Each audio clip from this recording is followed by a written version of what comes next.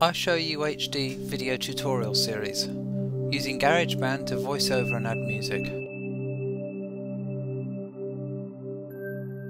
Now the trick with GarageBand is to capture using low compression first since we have to re-export, hence we use one of the intermediate settings.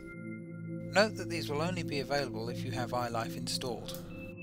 Note as well that the basic idea is to get the timing on the visible parts of the screencast approximately right, but not caring about the sound. As with most things this will make sense when shown, so let's do an example. Here I'm going to screencast doing a simple calculation. Let's select the calculator as the capture area, select the fixed mouse mode, and one of the intermediate targets as an output.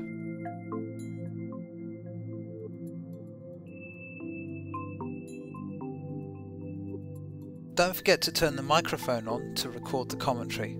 This is called a guide track and we'll remove it later. Okay, we're ready. Click record.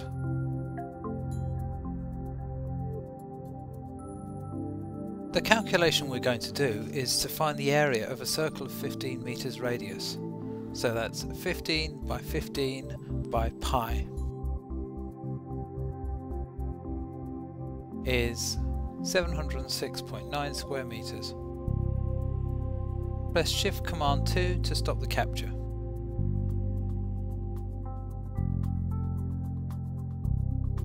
Like other iShowU captures, this one's ready straight away. So let's start up GarageBand.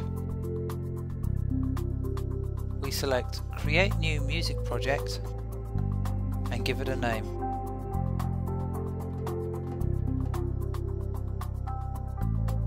Since this is not a musical project, I also like to click this control here to switch the time base to be hours, minutes and seconds.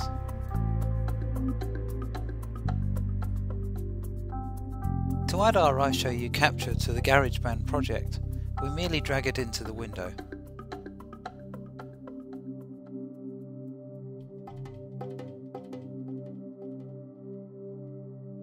GarageBand also created us an instrumental track we don't need, so highlight it and delete it.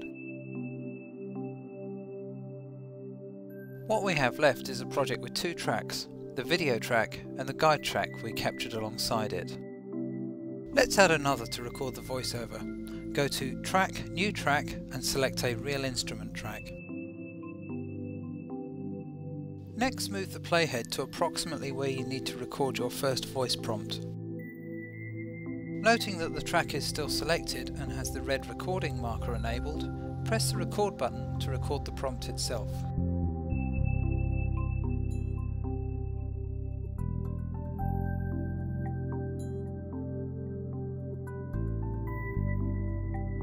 Press the record button again to stop recording and press the playback button to stop playback.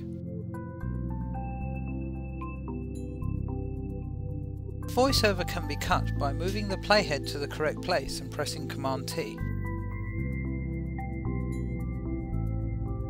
These cut pieces can then be deleted or moved around independently. Then preview by moving the playhead to before the voice prompt and pressing play.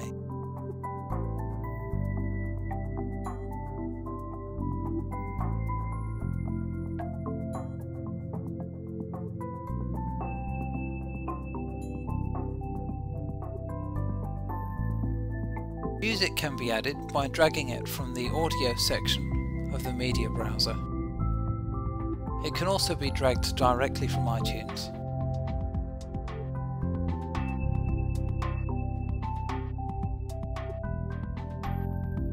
If the music is too long, it can also be cut with Command T and then delete the unused section.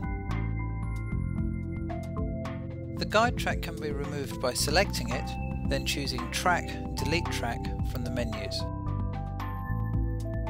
Finally, we can export our finished screencast by selecting Share, Export Movie to Disk,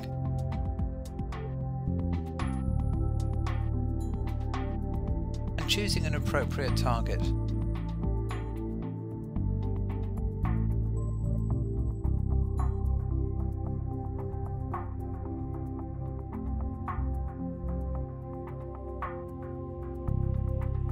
And we're done.